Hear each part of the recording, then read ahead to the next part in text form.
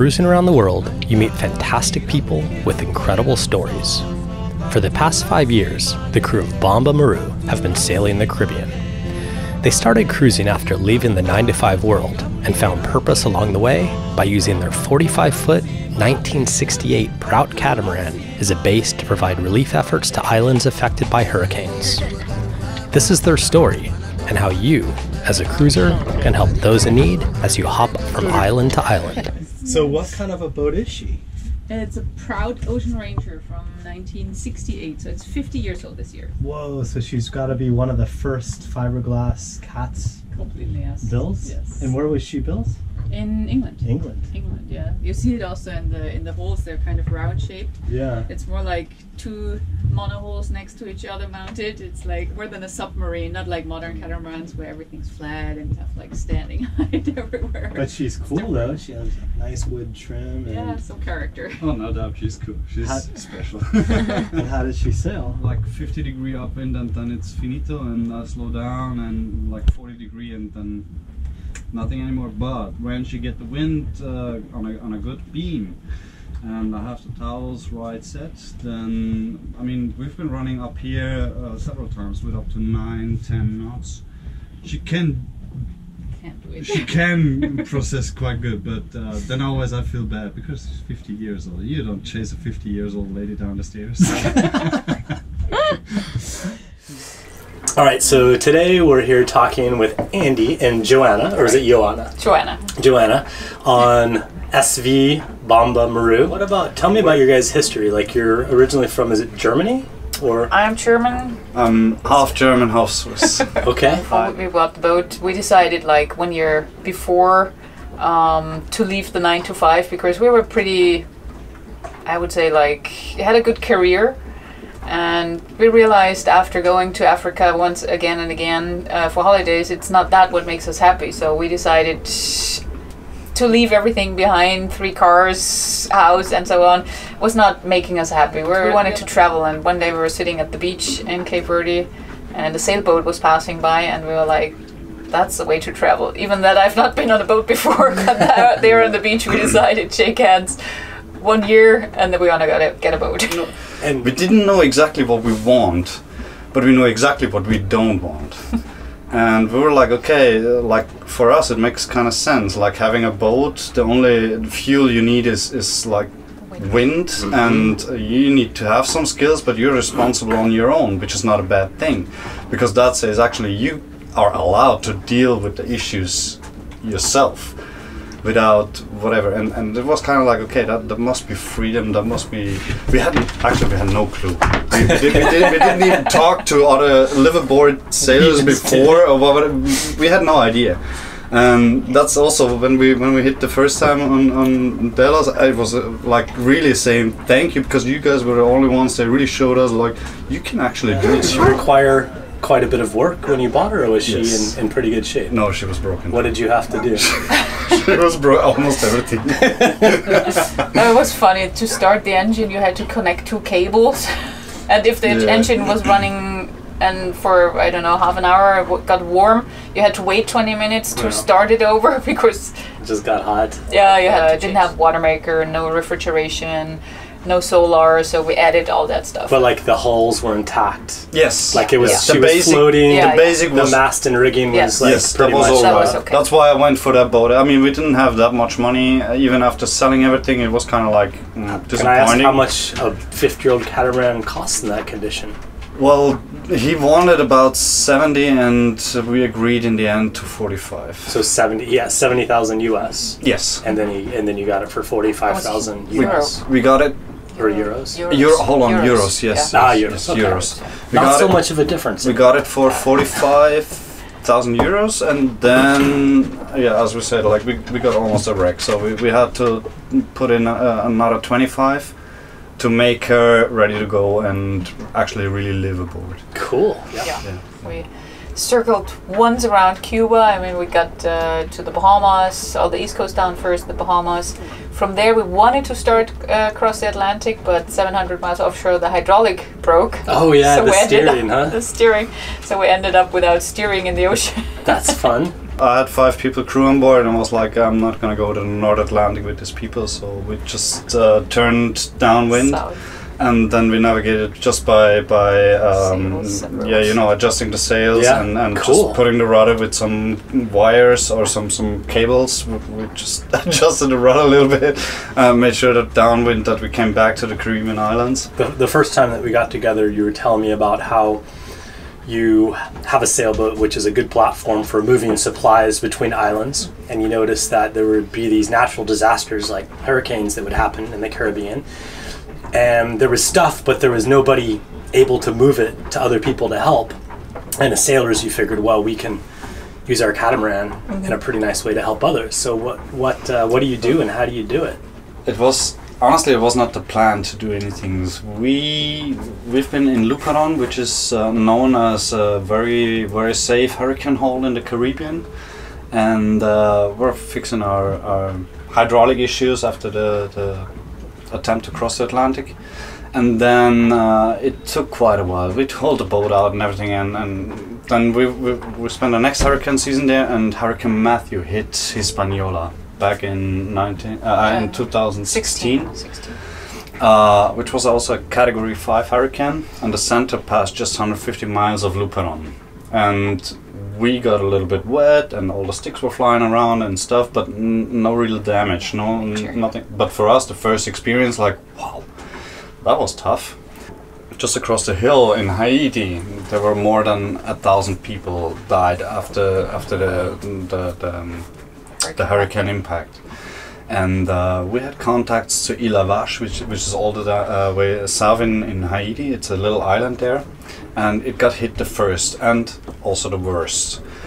I was like, okay, how would that be if we just would all just pack our stuff together? It's about 350 miles to go from Luperon all the way down to the impact zone and just help out. I mean, the, the, the biggest problem what they have down there is like they don't have access to to uh, proper potable water anymore because the wells are um, Contaminated. Contaminated and all that. because the sewers overflow and then that gets into the water and then nobody can drink it. And then we were like, okay, let's stand up, let's do something. I, I expected a lot of people would say like, hey, cool, yeah, let's do this. Let's go. Well, Bamba Maru was the only boat left to put on towards Haiti. no. yeah, but we were like really okay then, because the others don't want or whatever it doesn't stop us. So we made a call back to Switzerland and let them know what happened actually, and and started raising funds and asking shops and what the heck ever uh, like everybody who could chip in a little bit of something like money or tools or tarps or medical supplies or whatever they could need down there we were able to load this hull pretty much to level uh, um, but half a boat and with this we went down to haiti and, and we're just like okay let's see what's going on here what we can do and we spent half a year there and realized down there that even if we thought we're just a little boat we don't make any difference we did a lot of difference even with our power survivor the little water maker Yeah. it was running 24 7. We made a pipeline from the boat to the shore to their cisterns, and in the morning the people came up with their buckets and everything and tried to get their sip of water out of the cistern. Uh, one of the most impressive moments I had down there was just sitting in the cockpit out there and sipping on a bottle of water. And then uh, uh, uh, two locals came along in their self-made uh, mango tree ca- uh, canoe and uh, of course there's the, the, they were speaking Haitian Creole, so I couldn't understand. I got an idea because it sounds similar to French, but I had no, no idea what they want from me. It turned out that they want to trade two proper lobsters for this little plastic bottle of water. I was kind of like, um, seriously? you know what? You keep your lobsters, you go back and, and you get every container and, and every bottle you can get, and I'm going to top you up with water. Of course, we're not talking about trading for water.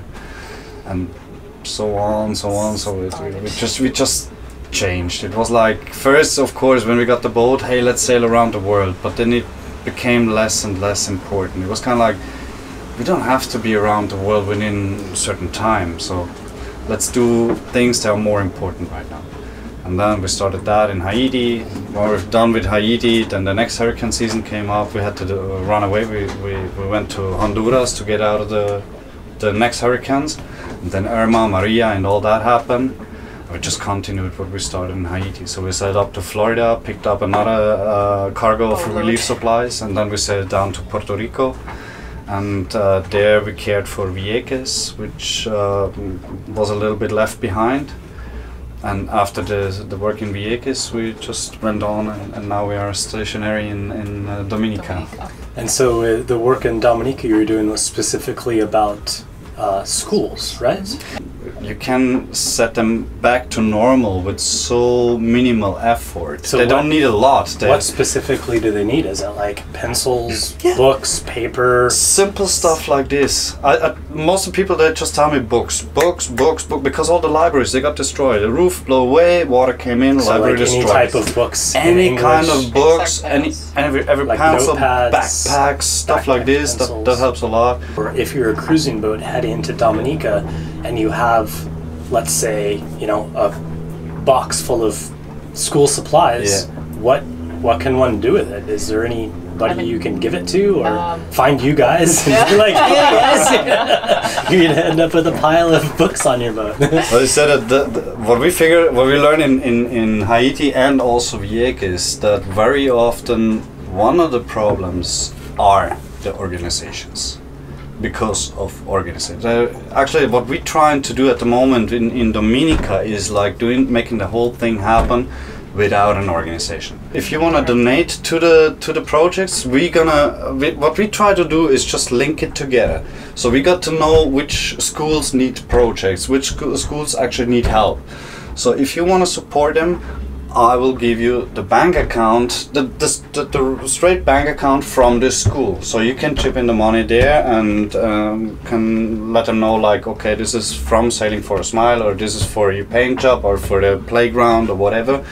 Because then you don't pay any organization. It goes Yeah, straight, straight there to where the it's people needed. need it the most. If there's, we're gonna be stationary in Dominica. If somebody wants to know how to help or whatever, we're gonna be there on the ground, and we're gonna be available online also for answering questions or coordinating stuff like making projects happen. That okay, let's say like in March there's uh, there's Planet that we built Yeah. a playground. Yeah, on the second of March is through the SSCA also uh, play uh, playground art um, project for the St. John School in Portsmouth, for example. That's the first one they're doing, and then we move on from school to school and hope to do one project a month, or if funds are coming in faster, twice a month Sure. to work on the ground. So if people want to get in contact or want to know what's what's up to date, they can contact us on, on Facebook or like search Okay. for Sailing for Well, Smile. I think what we'll do is maybe in the description of this video we'll put some links Mhm. down below, and hopefully Perfect. we'll be able to get some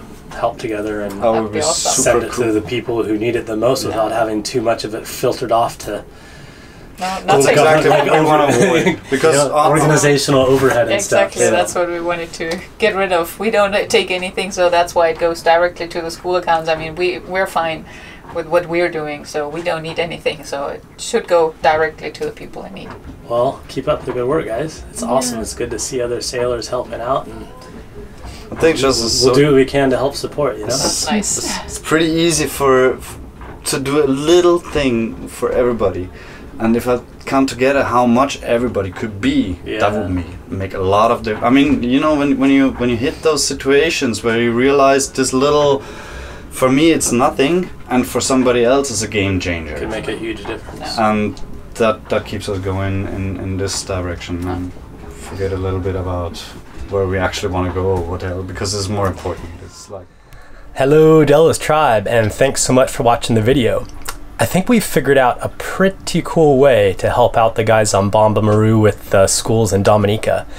If you head on over to svdelos.com forward slash beer and you make a donation, no matter how small, in the comment or the description field, there's a little place where you can send a message to the crew. Just make sure to put in there sailing for a smile. And if you do that, what we pledge to do is we're going to match your contributions. So for every dollar that you send to us with sailing for a smile in it, we're going to match that dollar up to $1,000. So I think together we can hopefully make a pretty big difference to the school and the kids. And uh, we're going to make sure that all of that money gets to where it should be with no overhead or like administrative fees or anything. So thanks for watching. Hope you liked the video and have an amazing day. See ya.